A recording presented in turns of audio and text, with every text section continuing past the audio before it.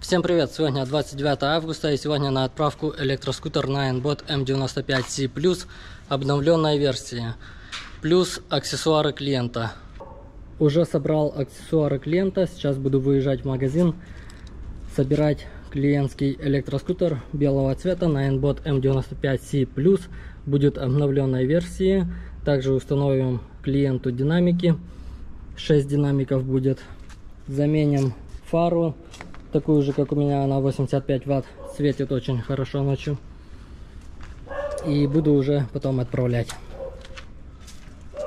Если вы заказываете электроскутер, то рекомендую сразу заказывать и аксессуары. Допустим, вот эта коробка от багажника помещается просто под ноги электроскутера и в таком виде отправляется. Считайте, что дополнительное место не занимает и прибавляет буквально 5-10 килограмм. Доставка, считайте, бесплатно выходит. Сейчас начну собирать и упаковывать аксессуары клиента. Давайте вместе посмотрим, что за аксессуары.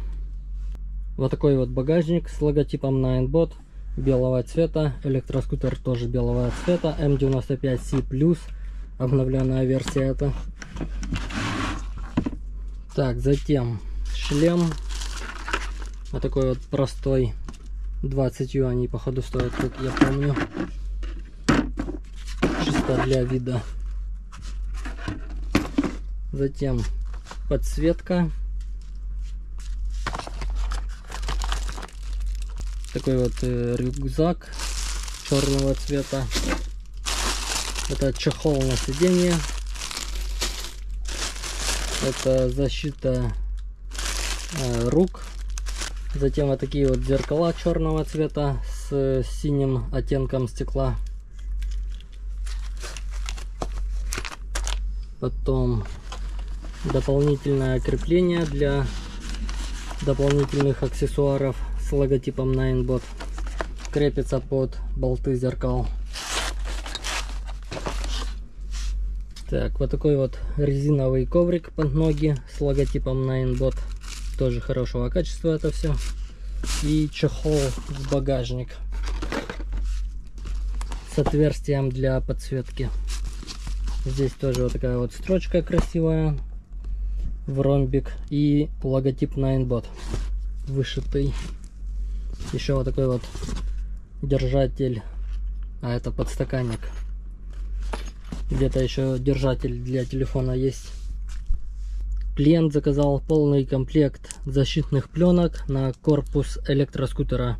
Прозрачная пленка ТПУ хорошего качества. Так, затем еще держатель для телефона. Чехол кожаный для NFC карты с логотипом Ninebot. Так, защитное стекло на дисплей. Это пленка для дисплея и вокруг дисплея. Вот такая вот накладка на подножку черного цвета. В принципе все. Сложил аксессуары клиента. В принципе место еще свободное есть. Закину немного подарков от себя. Вот такой вот портативный фонарик. Светоотражающие наклейки для обода колеса и тряпочка. Практически все аксессуары поместились в багажник. Сверху резиновый коврик, чехол в багажник. Остались только зеркала и защитные пленки. Зеркала положу в багажник электроскутера. И труба вот эта поедет просто вместе с багажником. Сейчас контролирую сразу два электроскутера. Здесь устанавливаю переднее колесо в сборе. Здесь устанавливают литьевую батарею плюс контроллер. Это Ninebot M95C+, обновленная версия. Будем устанавливать литьевую батарею на 90 ампер часов, улучшенный контроллер на 260 ампер. Вот она, клиентская литьевая батарея. Кто-то писал то, что неправильно было написано, буква А просто указана была, добавили букву H, ампер часов. Это получается литьевая батарея на 72 вольт, в пике 84 вольт, емкость 90 ампер часов, защита БМС на 300 ампер, Максимальный зарядной ток 30 ампер. Дата производства август месяц. Ну, буквально на пару дней назад сделали. Батарея собрана очень качественно. Аккуратный шов и водонепроницаемый корпус. Специальный скотч и герметик. Также все разъемы герметизированы от попадания воды. Сейчас будем устанавливать на электроскутер. В комплекте идет вот такой вот разъем для зарядки. Блок, отвечающий за отображение заряда на панели и приложении на телефоне. Удлинитель кабеля и зарядное устройство на 10 ампер.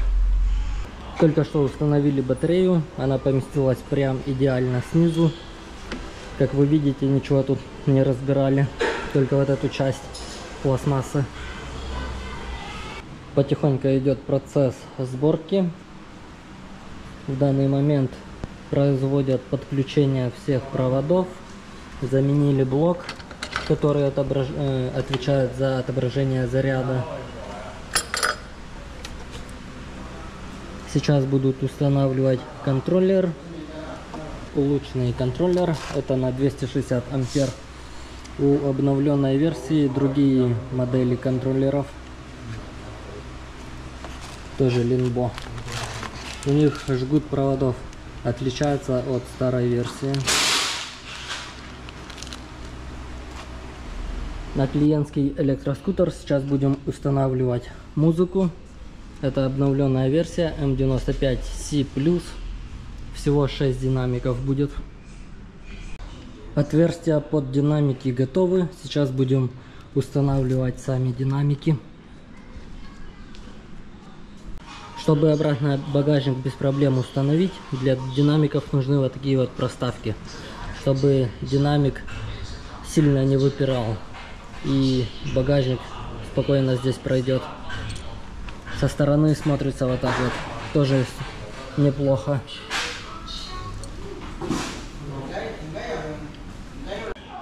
Установка динамиков занимает довольно много времени, так как отверстия делать не так просто. Часа 4 нужно потратить, чтобы установить музыку на электроскутер.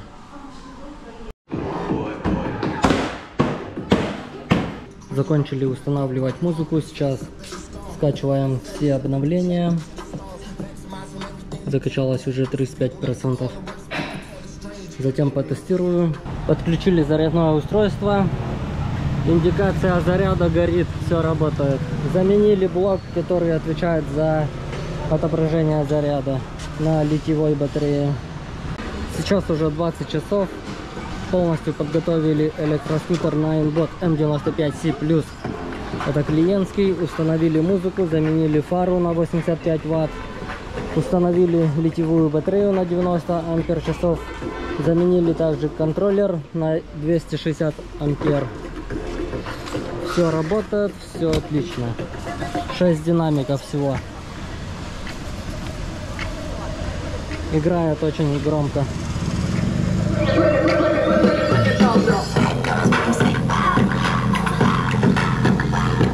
с литьевой батареей на 90 ампер часов и улучшенным контроллером скутер поедет 80 км в час и запас хода будет примерно 180 км. Зависит еще как ездить. Если на второй скорости 60 км в час ездить, то и 200 км проедет. Фара светит очень ярко. 85 достаточно для езды. Также установили клиенту вот такой вот моргающий глаз. Можно через приложение менять цвет глаза и цвет ДХО. Можно включить, чтобы постоянно горело, либо вообще отключить. Кстати, это уже второй клиент, кто заказывает себе музыку на электроскутер. Только что замотали в защитную пленку, сейчас буду вызывать машину для дальнейшей отправки на склад и упаковки. Загрузили электроскутер в машину, сейчас машина будет выезжать на склад. Если вам нужен любой электроскутер из Китая, вы можете обращаться ко мне. Ссылки для связи со мной оставлю в описании под этим видео. Всем спасибо за просмотр, всем пока.